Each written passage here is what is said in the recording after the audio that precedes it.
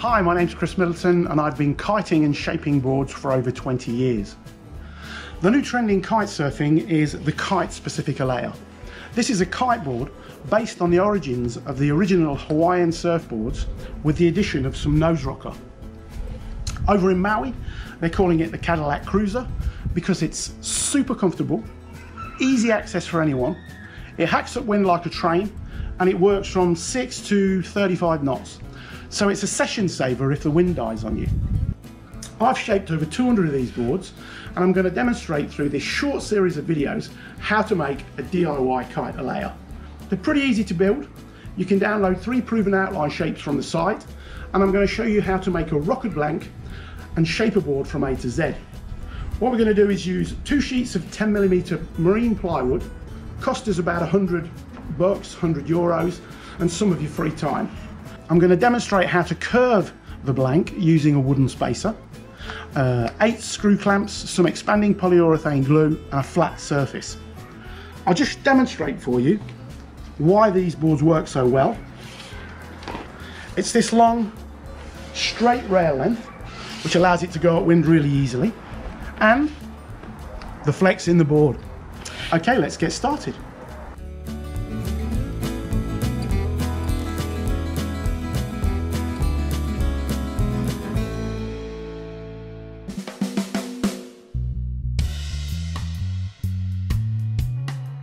These represent a selection of the tools I use. Uh, you don't need to have them all. Sanding blocks, which allow you to keep your rails nice and square. Uh, some shaped sanding forms, which allow you to sand into any curves that you might have. And tools that allow you to uh, mark so that you can mark out where you've got to plane or shape it to. Power tools, uh, you need a jigsaw, best tools I've ever invested in, not overly expensive, small scale router, and obviously a sander with some sort of extractor to get rid of the dust.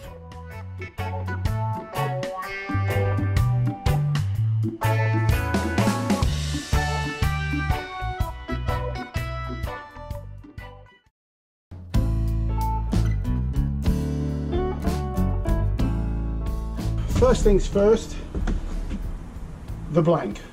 What I'm going to try and do this afternoon is make a blank out of two pieces of marine ply. You need some supports, which are going to give you a flat surface. I'm going to put this together to use the other side. I think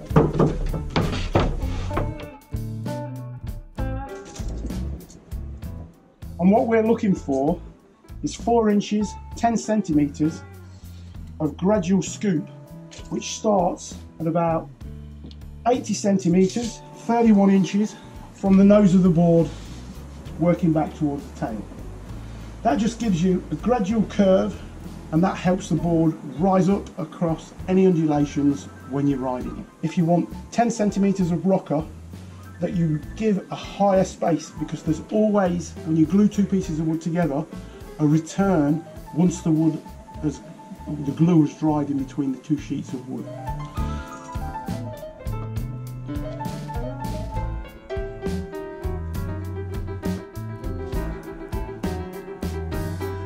I'm using here exterior polyurethane, it's a single uh, component glue and uh, you put it on, stick the two pieces together, clamp them in place and with a bit of luck everything should come together. Protection on because it's a pretty horrible substance. And you should use a mask because it's pretty horrible if you're in a confined space. But seeing as I'm outside, it's not much of a problem. I'm going to take the top off because I need quite a lot of it. Right, let's get going. It's a pretty thick glue, so you, know, you do have to be a bit forceful with your squeegee.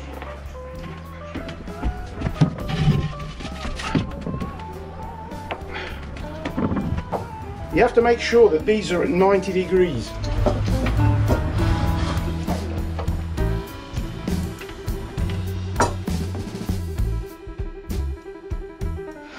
always easier with two people.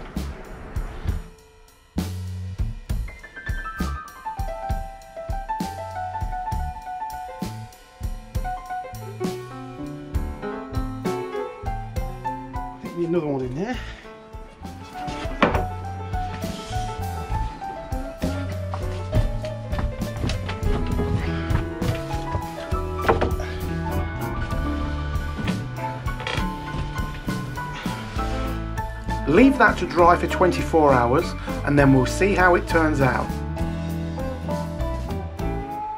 Et voila, your kite Alaia blank is ready for the next stage.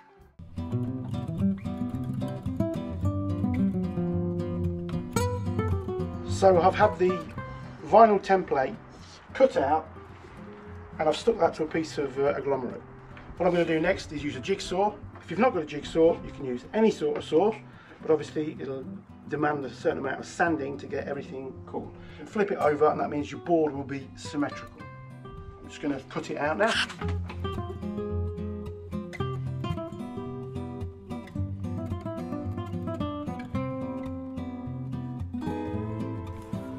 I've marked a centre line on the rectangular piece of ply that we've got.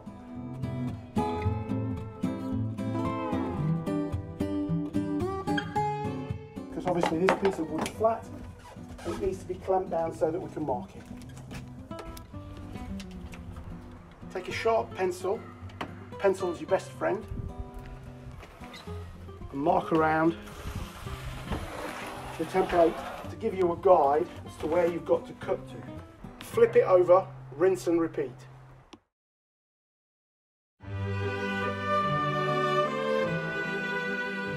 Repeat the same process that we used to cut out the template by cutting out this. And I'm going to leave uh, a saw width distance of material uh, to allow us to be able to sand back to the edge of the form.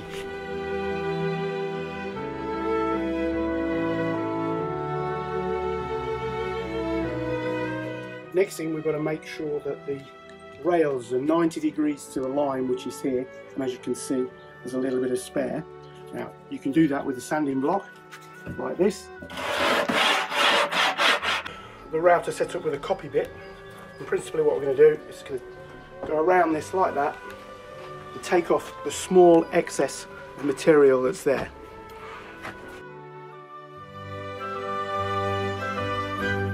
Flip it over, rinse and repeat.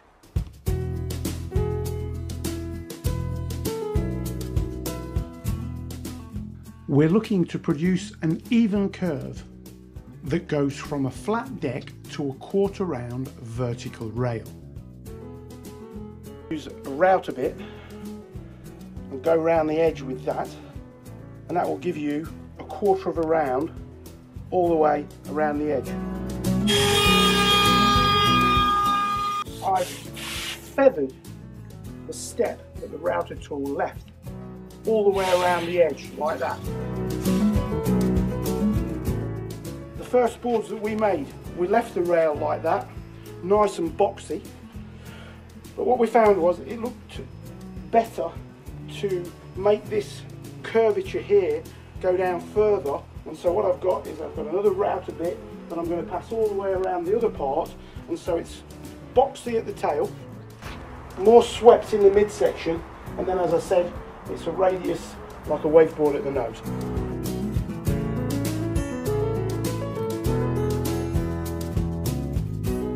This is the, the router bit which is more swept. This is the uh, uh, quarter circle and so what we've got to do is we've got to feather this piece into this piece which has already been done on this side as you can see.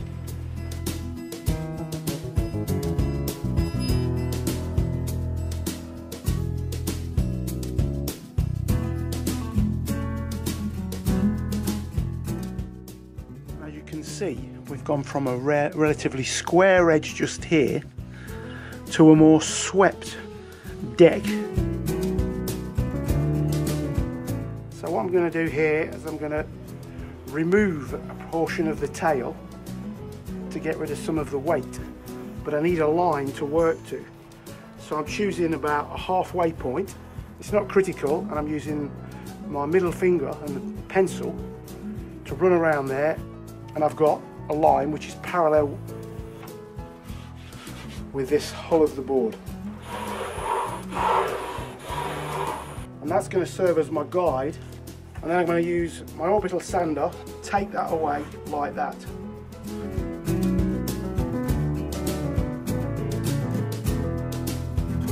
Make it come to a nice radius around the rail.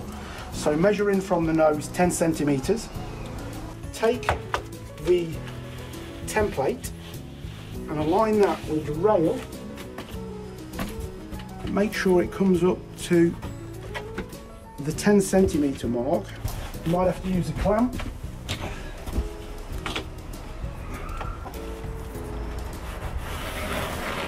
I think what I'm going to do is I'm going to bring this further down here to where the the rocker of the board starts. We use a hand plane, a Surform and a sanding block to curve that off and radius this section around here.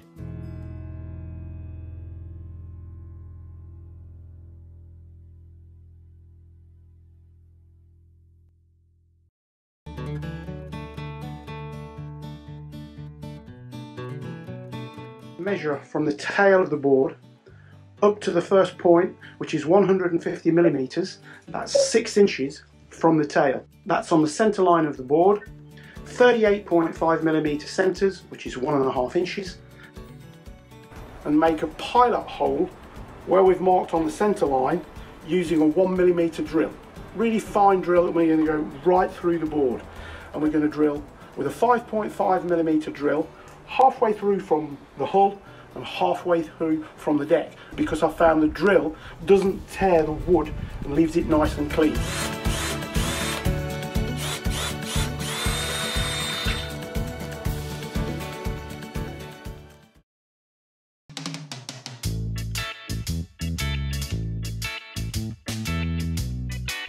What I'm going to do here is I've a vinyl cut logo on the site so you can download that.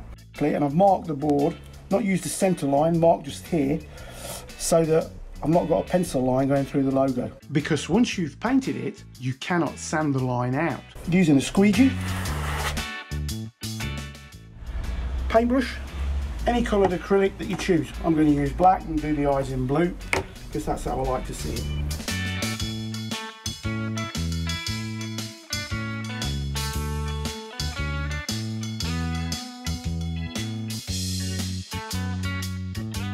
And what I'm going to do now is I'm going to colour the board. You can colour it with any acrylic. Uh, you can use any paint, in fact, uh, because it's a piece of wood. I like yellows and oranges because they stand out really nice against uh, any sea colour. If you want, you can use a brush, but I find the easiest thing is a kitchen spongy and uh, a little bit of water, and you can just fade it along the board.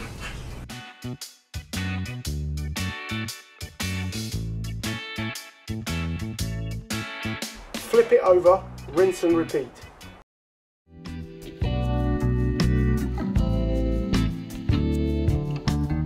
We've let the board dry overnight, that's 24 hours, and we've given it a light sanding with a sanding block 120 grit sandpaper.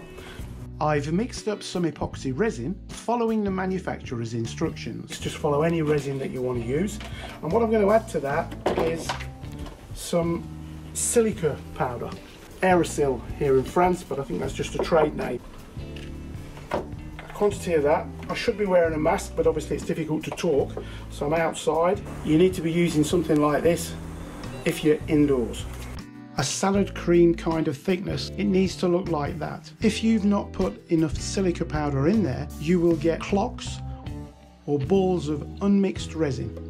Just add a little bit, a little bit, a little bit until it goes into a smooth paste like that. That's the secret. Flip it over, rinse and repeat. And you need to make sure that you work from the tail to the nose of the board to get rid of any squeegee lines left in the resin but not starting in the middle of the board and then working your way out otherwise you'll get marks in the resin.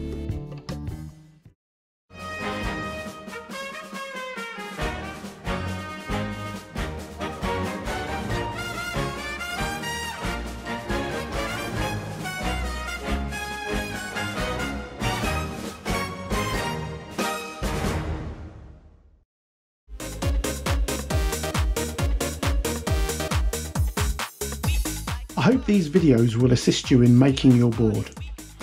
What I've tried to do is to give you a surefire, easy method of making your own Kilaia. I build all of my Kilaias with Paulownia tomentosa, but you can also use red and white cedar. These lightweight woods are ideally suited for making Kilaias as they are hydrophobic and have a great strength to weight ratio. Plywood, unfortunately, is 65% heavier than Paulownia, so the finished board we've made weighs in at around 8 kilos. Whereas if you use Paulownia, it'll come in at around 5 kilos. But remember, if you use any of the above lightweight woods, you will have to give it a fiberglass skin and a hot coat. No fin, single fin, twinser or tri-fin and I prefer the twinser and tri-fin setups, but they all work. Channels in the hull, I prefer to use concaves. Handles in the boards are also something to remove weight. The outline of the tail shape plays a huge role in making these boards more responsive. On the creative front, there's no shortage of things that you can do. Hand cut marquetry, experimental graphics, adding wooden nose and tail bumpers, surface wood carving, which removes more weight and can provide a great non-slip deck solution. 3D machine cork as a non-slip deck pad, but I also use non-slip vinyl and surf wax. I was hoping to show you the orange Kilaia in use, but due to the lockdown, this is not possible. So we'll post that clip once we get back out onto the water. This is Chris Middleton signing off for the moment. Stay safe, tight lines, and may the good winds be with you ASAP. Cheers.